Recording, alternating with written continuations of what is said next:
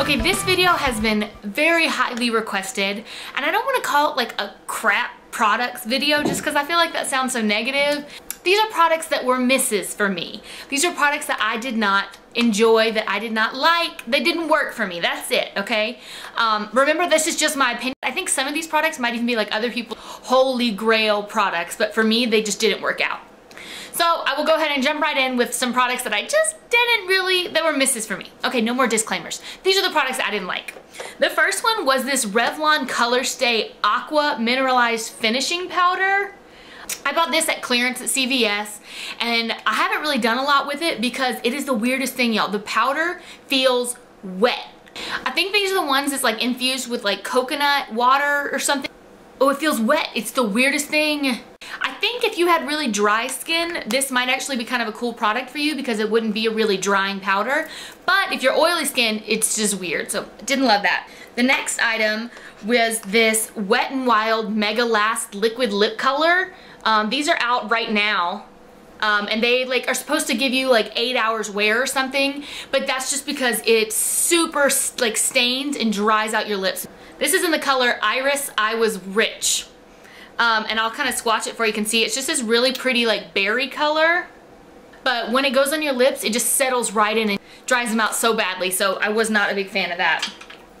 This next product is from e.l.f. and it's their tinted moisturizer. And I've heard some people have good opinions about this. I got this in the color beige, I think.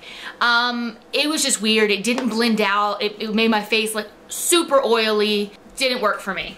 And a lot of these, like, they're a buck, guys. I test them to see if I like it and I don't, but it's no big deal because I'm out a dollar. So you're probably thinking like, of course, Kayla, you bought really cheap makeup and maybe there's, and you're surprised you don't like it. But you know, it's all an experiment. I'm just letting you guys know what didn't work for me. So what, this one was the e.l.f. Shimmer Eyeliner Pencil and it's just the white pencil that comes with like a little sharpener. Um, it's just like super not, like you have to like go a bunch to be able to see it. Um, just didn't really work for me. I was trying to put it like on my eye, but you have to tug so that it'll like rip your eye off trying to get it on. So that wasn't gonna work. The next one also was an e.l.f. waterproof eyeliner pen. Now I love some eyeliner pens. I swear by them.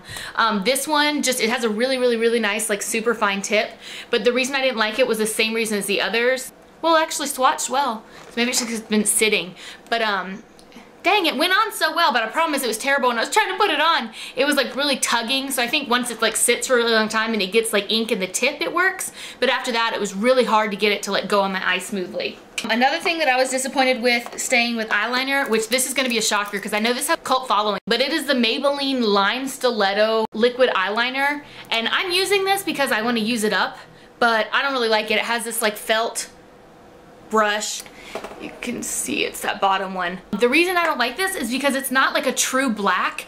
I have to put it on my eyelid and I usually have to do like three or four coats before it's really black. It's kind of like a dark green. Um, and the tip of the brush is way too wide like do a really good wing with. I've read a lot about this and other people love it so there is a chance I got a bad batch at it because I know some people swear by it. Another thing that I did not like was this Maybelline Eye Studio Gel Liner.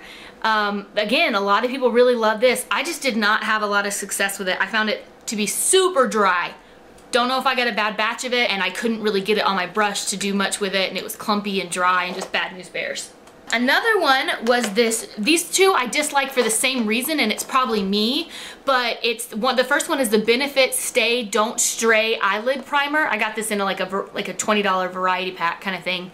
And the next is the Dream Maybelline Dream Lumi concealer and you can actually see I've used quite a bit because I didn't realize for a long time what was happening but these just burn my face. This eyelid primer what I put it on um, my eyelids like light on fire and this Dream Lumi I just like for the same reason because when I get it under my under eye area it really burns. So again that could be like my sensitivity but those didn't work for me. Another thing was this Ulta Voluptuous Volume Mascara. Um, I didn't pay for this, luckily. I just got it in like a free bag, you know, when you buy X amount of dollars or something. I got like a, little Ulta bag. Um, so I wasn't too upset about it, but it was super like a wet mascara that smeared everywhere. It just got all over my face. I think I only tried it once and I didn't, didn't try it again. Another thing was this um, Maybelline Shine Free pressed powder and I got this in the color Ivory and the reason that I disliked this powder was because I used it for a while was so funny. I didn't like it, but I hit pan on it. I bought this a long time ago and I would kind of put it on and then I just hated it. And so I kept it in my purse for a while to like touch up my nose when I was oily. But because it wasn't translucent, it was ivory. It had like a color, so it was super white. It's a really chalky powder, which is why I dislike it. It's really like not a smooth, fine milled, like nice powder. So I don't really enjoy it. Thing that I dislike was this Hard Candy lip balm. I don't know if they still sell this because I know Hard Candy just like redid all of their stuff, but I bought it not too long ago. But the reason I didn't like it, I'll show you guys, it's terrible packaging. So it's your, it's your balm like this, but when you lift it, this much of the product stays out of the tube all the time. Like it's rolled all the way down, but so you can see it's like breaks every two seconds because you put it on or because you touch it. Like you can't protect it and roll it down in the tube. Um, so I didn't like that. It was only $3, but it's just kind of like messy and it didn't do anything for me. Another product that I didn't like, which I've talked about before in a haul video when I got these, I was super disappointed. These are like the EcoTools Expert Face set or something of these brushes and I was so dang excited to get them you guys and then they came in the mail and I found out they're like fun size like what I have candy bars bigger than that. I don't need candy bars. What? Um, so anyways, they're just like super small. I'm trying to make them work um, and find different uses. And because they're so short, like they don't fit in my jars with my other brushes. They have to have their own spot. I was just really disappointed. Maybe I missed it, but I feel like it wasn't really clear that it was a travel set and not the full thing because I was really excited to get it. The last thing that I was disappointed with, it's a missed product for me, was the L'Oreal Paris One Sweep Sculpting blush duo that has a blush and a bronzer. Now I bought this on clearance, so I'm not that upset about it. I didn't pay much for it. Um, but it seems like a gorgeous concept, right? I love the packaging. It's clear. You get the blush and the bronzer, and the bronzer appears to be completely matte, so I was really excited. And then you open it and see the colors. It even has like a little brush in the bottom, which is weird.